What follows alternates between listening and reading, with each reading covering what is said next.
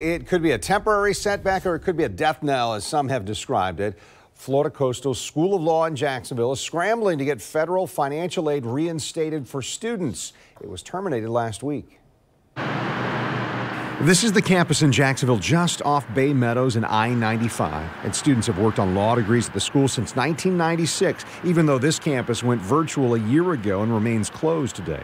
A spokesperson told me Florida Coastal School of Law learned late Thursday that their Title IV student loan program eligibility had been terminated, the result of a new U.S. Department of Education policy. Everything was, uh, was completely uh, in order with it, uh, but for one small uh, difference uh, from all past history.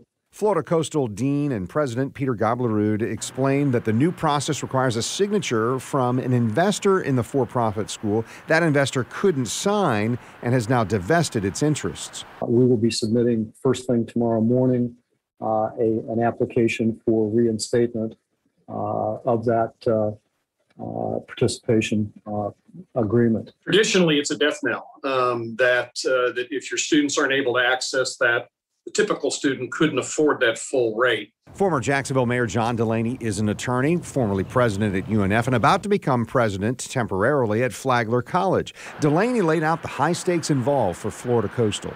Yeah, I think it'd be it'd be very tough without that to be able to stay open. Um, there's only a few rich students that can't get into another law school someplace in the country that would probably pay that tab.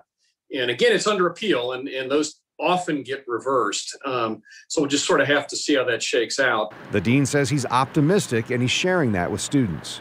The message uh, to them uh, is uh, that we're working uh, around the clock uh, to get this uh, matter straightened out and are committed uh, to and optimistic about the future of, uh, of the law school. Both Delaney and uh, the dean there pointed out that this is not an accreditation issue, it's a procedural problem. Florida Coastal hopes it's a problem that's solved quickly.